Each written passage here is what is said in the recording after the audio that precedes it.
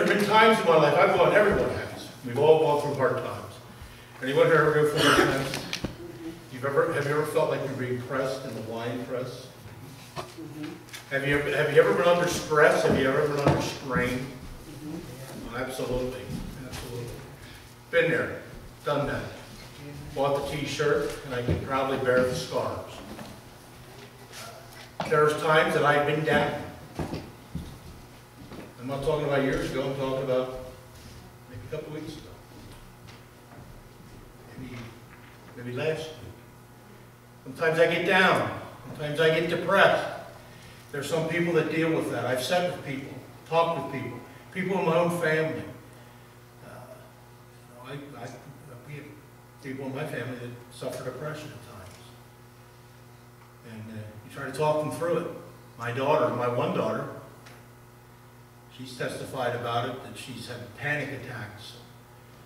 Uh, it- It's, it's trying on the person, but it's trying on the father that's trying to help them get through that too, you know that? And you just keep speaking the scripture, and you keep talking, and you keep reasoning. And uh, sometimes, did you ever feel like they were coming to get you, but you just didn't know who they were or why they were coming to get you? Been there, done that, bought the t-shirt. I know what that's like. I've been with people who have had varying degrees of this, this battle. I've sat in the mental health ward visiting people that, I'll tell you, when I left, I didn't think they'd ever be a functional person again.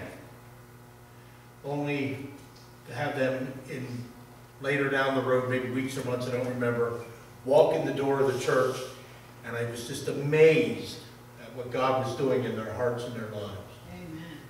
And then there are others that just, just, you know, it's just a mild thing. But I want to talk to you today about peace. Peace. Jesus said in John chapter 14, verse 27, He said, Peace I leave with you, my peace I give unto you. Not as the world giveth, give I unto you. And this is, I love this phrase, let not your heart be troubled, neither let it be afraid. What time I am afraid, I will trust in thee. He is a, the, the name of the Lord is a strong tower. The righteous run to it and are safe. Peace I give you. Not as the world gives. The world gives and takes away. The world, it's, it's a facade. It's, it's, it's feigned. It's plastic. It's not, it's not permanent, but this is an eternal spiritual peace that I give to you. Now go to Philippians chapter 4 and verse 7. And we're going to be coming back to Philippians later on. Chapter 4, verse 7. And the peace of God, which passes all understanding, shall keep your hearts and minds through Christ Jesus. The peace of God which passes all understanding. And what he's saying is, let the peace of God, let the peace of God empire and rule in your hearts and where else? And in your minds. So what do I mean by, by peace? Peace, I look in, in Webster's, the English uh, definition of peace, I wrote down a few things. The freedom from disturbance. Sometimes you're disturbing your spirit, and God has put it there because you need to be disturbed. My dog never barks at anybody. Never. You go to the door tonight, he'll come up and he'll want you to pet him, and he's 135 pounds. State cop came to the door one night. They were looking for Kitty. No, I'm only kidding. They were looking for Kitty. There was a dog, a stray dog in the neighborhood, they thought it was ours. I guess we have so many dogs, they just think every dog around belongs to us. About 3 o'clock in the morning, Jordan went to the front, we have a closed-in front porch. Jordan went to the door to talk to the cop, and the dog went nuts, went nuts over the state cop. And everybody else, no. My wife said there was a stray dog, came into the yard one day, and the hair in the back of his neck and, and back stood straight up. He had a disturbance. Sometimes God puts that disturbances, but other times we're just, we have a disturbance and we're uneasiness and we're not settled and we don't know why. And I don't know if it's, if it's, if it's a chemical imbalance at times, or at times I believe it's spiritual. It's a spiritual warfare. But peace is the freedom from disturbance. It's quiet and tranquility. The older we get, the more we like to have our quiet times, right? It's a quiet calm. It's freedom from or the cessation of war or violence. And it's also agreement or harmony. Now we got a peace treaty. I'm at peace. I've had a disagreement with a family member. Now there's peace. There's harmony. We're on the same page. One country may be at peace with another. The biblical concept of peace comes from the Hebrew word, the Hebrew root, uh, shalom, or salam. We would say shalom. This, this peace in the scripture, throughout the epistles, we see that greeting, grace be unto you, and peace from God our Father and the Lord Jesus Christ. You know, they're constantly saying, may the peace of God keep you. Remember, the first century church was a church in great uh, upheaval and persecution in some places. They were pressed. In Jerusalem, they all fled except for the, uh, the disciples. And that probably was a good thing because when they fled from that persecution, what happened? They spread the gospel all over the world. But the Hebrew root means this, to be complete, to be whole, to be sound, to be well.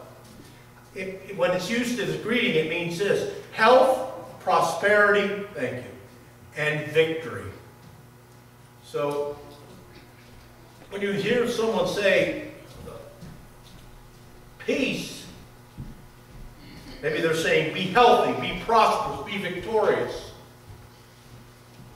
And there's sometimes, there are people that don't have that. Now, why is it that in this life, in this world, Jesus said, in this life you shall have tribulations. But fear not, for I have overcome the world. So, what, what brought this, this, this disturbance and this unpeacefulness into the world? Well, the fall of man. With the fall of man, what's really at the root cause of there not being peace is there's two things about peace. There's peace with God and peace of God. And you can never have peace, the peace of God, the peace that God gives to a heart and soul, until you're at peace with God. And the sinner is not at peace with God. The fall brought about enmity. Turn to James chapter 4 and verse 4. James 4 4. Ye, adul ye adulterers and adulteresses, know ye not that the friendship of the world is enmity with God? Friendship with the world. I like uh, what the prophet said at Mount Carmel. How long halt ye between two opinions? If God be God, serve him. If Baal be God, then serve him. We can't straddle the fence. The friendship of the world is at enmity with God. Whosoever Whosoever therefore will be a friend of the world is the enemy of God. God said it. The Apostle James said it under the inspiration and anointing of the Holy Spirit. The friend, whosoever is a friend of the world is the enemy of God. One time I preached at a church, and I think I got myself in trouble. That, that happens sometimes. And uh,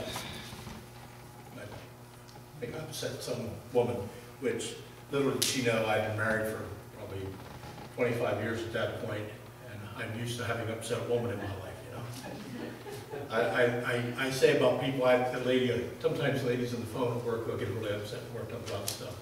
And I'll tell my coworker, she's under the impression that a woman being mad at me intimidates me. In 35 years of marriage, it no longer intimidates me. I just say, yes, dear, and walk the other way. But uh, I said this at a church one time, and listen, I'm, I, I, we've got to get this political correctness stuff out of our mind. We need to start to think and act biblically. Amen? think and act biblically. If you, and I'm not saying that we should hate them, that we should hunt them down, that we should run them over. I'm not saying that about the sinner. We love them. However, they, there are people that are enemies of the cross. And I made the statement about Islam. I said Islam is the enemy of the cross. It's true. They're, they, if they are part of this world philosophy, world thinking, if they're outside of Christ, they're an enemy of God. They're an enemy of God. Isaiah said, There is no peace, saith the Lord, unto the wicked. He said that in Isaiah 48, 22. He said it again in Isaiah 57, 21. There is no peace, saith the Lord, unto the wicked. Now, I've been with, I don't know how many people, not hundreds, I mean, nowhere near that, but I've been with some people when they've left this, when they've left this world. I've, held their hands, or I've sat by them, or I've stood by them. I've closed the eyes on more than one person after they died. And I see, I'm not going to say that every sinner is in torment when they leave this life. I won't say that. But I will tell you that when I'm in the room of a saint of God and they have passed this life, there is a lingering peace. Because Jesus has come into the room and taken them to be with him. There's a difference. I, I say to my wife, I, uh, I always, you know, now that we don't get a paper every day in the Harrisburg area, but I do try to pick one up, the Pottsville paper on a Saturday, and I don't even know most of the people up there. Once in a while, they'll have someone from in here, but I read the obituaries. What's the first thing you do when you read the obituaries? Look to see how old they are. I'm sorry, I just do. I want to see if it's getting close to home. But then I read the, the little remarks in there. And lots of times they'll say, uh, Fred passed away peacefully. Mary passed away peacefully. In all the years I've read obituaries, I've never read, he, he went out kicking and screaming. if that were the case, I wonder if they put, he left here, he was ripping hold of life, trying to hang on to it. But I've been with people that, that, that there's been great peace after they've left this, left this life. Because what happened with those folks is there was no more hostilities toward God. There was no more enmity with God. That had been taken care of long ago. I like that hymn. The old account was settled long ago. Long ago, long ago, oh, the old account was settled long ago. You know, make your peace. I heard, I've had people tell me this. My mother had congestive heart failure, failure a year before she finally died with congestive heart failure. And she said to me, uh, she said, I made my peace with God. She had already been saved. She said, I had peace. I said, were you afraid? She said, no. She's the only thing, my kids were right there. And uh, when she started, it was in the 10 o'clock in the morning, she said, I just said, dear Jesus, don't let me die in front of these kids. She didn't want to die in front of the kids. And she did. A year later, it was in the middle of the night that she had this problem. And uh, we got her to the hospital, but she succumbed. She did not. I think I told you before that that morning when we were at Pockley Hospital, these hymns kept going through my heart and mind. I didn't want to hear these hymns, but they were going in there. God was giving me peace. Peace. So the fall of man brought enmity, but the cross brought peace and reconciliation. I think some Christians struggle at times because they don't know what Christ has done for them. They don't have a full appreciation of the blood of Jesus. Whom the Son shall set free is what? Free. I'm not saying you're not going to get down at times. I'm not saying you're not going to struggle. We have to keep we have to keep revisiting these things and keep coaching our hearts and keep telling talking to ourselves, reminding ourselves of these truths. Turn with me to Colossians chapter 1. Colossians chapter 1 and verse 20. And having made peace through the blood of his cross, by him, by Jesus, to reconcile all things unto himself by him, I say, whether they be things in earth or things in heaven. And you, that were sometime alienated and enemies in your mind by wicked works, yet now hath he reconciled in the body of his flesh through death, and I love this next part, to present you holy and unblameable and unremovable in his sight. So what is that saying? So this is what it's saying. That the divide between God and man has been resolved through the blood of Jesus Christ. And that one day when you stand before him, my mother used to always say, I'll have to stand before my maker one day. And that, that is an awesome thought to stop and think. I can't even, you know, I have a hard time wrapping my mind around that. I can't imagine what heaven will be. I know, and I know intellectually that one day I will die. Uh, you hope it's 30 years from now, but it might be 30 days from now. It Could be 30 minutes from now. I just don't know. But one day I will die. And I have to stand before God. Paul said that the judgment seat of Christ, he referred to it as the terror of the Lord. But yet we have great comfort and peace in knowing this, that he will present us holy, unblameable, and unremovable in his sight. I mean, so many Christians that say, that tell me that they just don't feel like they're good enough. Can I tell you a secret? I got those feelings too. And I have to battle them off because they're not from God. God knows the thoughts that he has of me. God loves you. God cares about you. And he's going to present you before his Father, not in your righteousness, not in your merits, but in the merits of Jesus and the merits of the cross. You ever notice something about the early church? Yes, they were a Holy Ghost-filled church, but they were also preachers of the cross and preachers of the resurrection. That's why they saw such great transformation in the lives of people. In Romans chapter 5, go there. If you have your Bibles, you want to turn with me, you can. Romans 5 and verse uh, 8. 5 verse 8. Make sure I'm in the right chapter. Here it is. But God commendeth his love toward us in that while we were yet sinners, Christ died for us. Much more than being now justified by what? By his blood. I'm covered in the blood. You know what justification means? Just as if I had never sinned. He will take your sins and he will remove them as far as the east is from the west, the 103rd Psalm says. But I keep remembering me, but I have to look to the cross. Every time you feel inferior as a human being, every time you feel inferior as a Christian, look to Jesus. Look and live, my brother, live. Look to Jesus now and live. Look away from yourself. I'm not saying that you deny and, and say to yourself, you know, confession is good for the soul. I, I, I, said to the Lord one time years ago when I was working at Willett Shoe Factory, I was discouraged with myself one morning. I must have got mad at someone. I don't remember what it was. I must have, must have flew off the handle. I did that back then. I do that now too, but that's another story.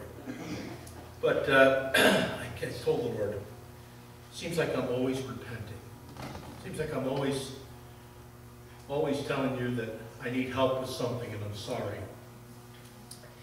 And right there in that factory, in that cutting room, you know the Holy Spirit dropped in my heart? It is godly people that repent. The ungodly do not repent. So if you find yourself repenting, it's a good thing. But we're justified not by our works, but by his blood which shall be saved from wrath through him. We're going to be saved from the wrath through him by his justification. For if when we were enemies, we were reconciled to God by the death of his Son, much more being reconciled, we shall be saved by his life. And this is what this verse is saying. He paid the price. He paid the debt. He has justified you. And now his life is inside of you. He lives within you. Paul said, I am crucified with Christ, nevertheless I live, yet not I, but Christ liveth in me. So our prayer is this, Thou mighty Christ, come forth in me. Live in me. Live through me. Help me to live and walk worthy of the calling that you've called me to. I like the verse over in the other chapter. He said in verse 25 of chapter 4, He was delivered for our offenses.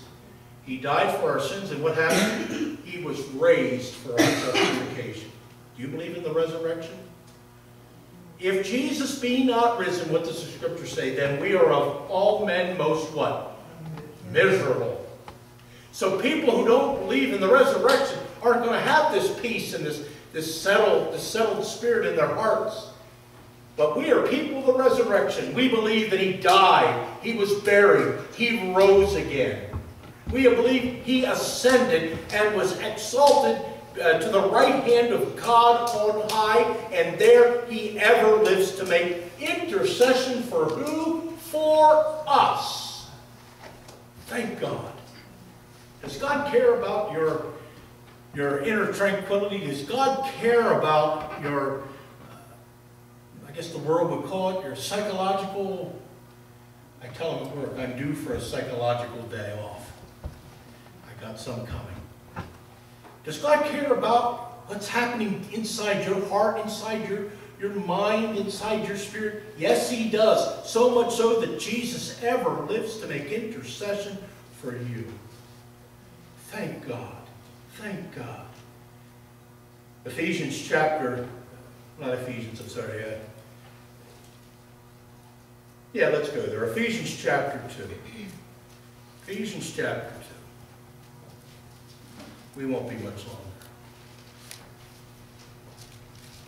He said as he entered into his third hour of preaching.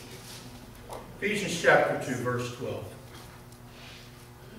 that at, time, that at the time ye were without Christ, being aliens from the commonwealth of Israel, and strangers from the covenant of promise, having no hope, and without God in the world. But now in Christ, who were sometimes were afar off, are made nigh by the blood of Christ. So what does that mean? We were far away from God, but we've been brought close by the blood of Jesus. Remember, his blood speaks better things than that of Abel's, Hebrews tells us. The blood of Abel's cried out from the earth for vengeance because of what his brother did to him. Jesus' blood cries out for mercy because of what he did for us. For he is our peace, who has made both one, and hath broken down the middle wall of partition between us, having abolished in his flesh the enmity, even the law of commandments contained in ordinances, for to make himself of twain one new man, so making peace, that he might reconcile both unto God in one body by the cross, having slain the, en the enmity thereby. You see, you have been joined to God through Christ. I like the, the stanza from the hymn. Oh, the love that drew salvation's plan, Oh, the grace that brought it down to man. Oh, the mighty gulf that God did span at Calvary. I saw a picture one time, a drawing of a great plain. And in the middle of this plain was this great ravine, this great chasm, this great divide. On one side it said man, on the other side, it said God. And there was a span, a bridge that was going across, and it said Calvary. You see, we've been joined together with God. The hostilities have ceased. Let me ask you this. I, I said this to my daughter the other, the other week. I said, I feel like God's mad about me about something. Like God's angry. I feel like God's ticked off. She said, why did you feel that way, Dad? You believe in Jesus? You believe Jesus saved you? I'm not discounting that we can't come under conviction. That's a different thing. But what I'm talking about is God's not mad at me. I can grieve the Holy Spirit if I'm not obedient. But he's constantly reaching back come on now, come on. Come here, come here, come here. We are his children. We've been bought with a price. We're covered in his blood. We've been joined together. There is a peace covenant because he's broken down the middle wall of partition. So that God doesn't have to be far away from you anymore. Like he's nigh unto you, and even more so, he is within you. You have just as much access to God as anyone else that's a Christian. There are no great men of God. There are only men of a great God. So, now that we understand, and we'll go quickly here as we conclude, now that we understand that the issue of, of God being angry with us has been taken care of at the cross of Calvary.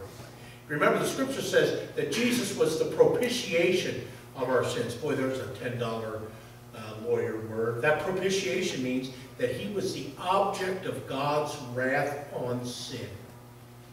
Yet we did, Isaiah said, yet we did esteem him smitten and stricken of God. And when we see Jesus bloodied and battered and beaten and bearing the sins of the world, we see him, yes, the Roman soldiers did it. Yes, the Jewish hierarchy did it. Yes, the crowd that cried out for the release of Barabbas was, was responsible. Yes, our sins are being borne on him. We bear some responsibility for his death. But yet we have to also remember that he was smitten and stricken of God for our sins, for our peace. Peace is a fruit of the Holy Spirit. We read that in Galatians 5.22. But the fruit of the Spirit is, what's one of the nine words? Peace. Peace. Galatians 1.3. I, I, this, this, been reading through the uh, New Testament uh, right now. And uh, I have no, no methodical way that I read the scripture. Whatever I feel like the Lord, Lord leads me to a book, I read it. If he doesn't lead me one, I just pick one. Uh, but I've been reading the epistles. I hadn't read them for probably since about last year at this time. I don't know. Anyhow, I keep reading, and I'll give you an example. Galatians 1.3. Grace and peace to you from, from God our Father and the Lord Jesus Christ.